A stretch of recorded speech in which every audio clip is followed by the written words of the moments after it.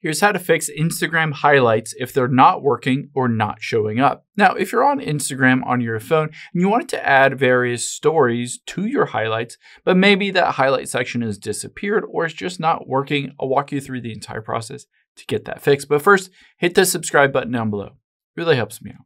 Thanks, guys. Now, let's open up the Instagram app here.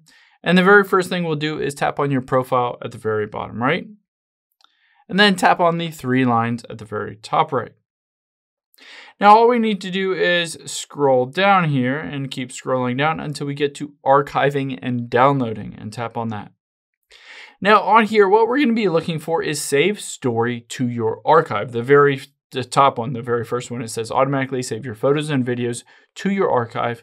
If this is turned off, then essentially you can't add them as highlights, so you need to turn that on. Now, after we've done that, let's just go back to my profile and you'll be able to see there is no highlights circle here. There's no option to add the little plus and essentially they've disappeared. If they are missing on your phone, you can always get them back by tapping on the three lines at the top, right?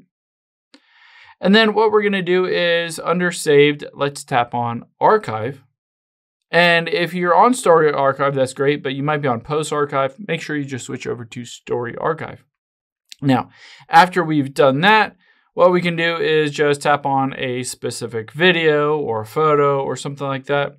And then at the very bottom right, tap on highlight. And then we can hit new highlight. We can add a cover photo. We can add a description. I'm just going to hit add here and then let's hit done. Now the cool thing is I can go back to my profile and now the highlights have been added. The new button with the little plus is on there. I can always go in here. I can change the title. I can change the cover, all of that directly on here after it's been missing. If you go through this entire process, but the highlights are still not working, the last thing I would recommend doing is opening up your App Store or Google Play Store and just typing in Instagram and updating to the latest version. Sometimes there are bugs or glitches that could be causing issues with your Instagram highlights. So just go in and update to the latest version of Instagram. I hope this helps. If it did, hit the like button down below and leave a comment if you still have any questions. Thanks, guys.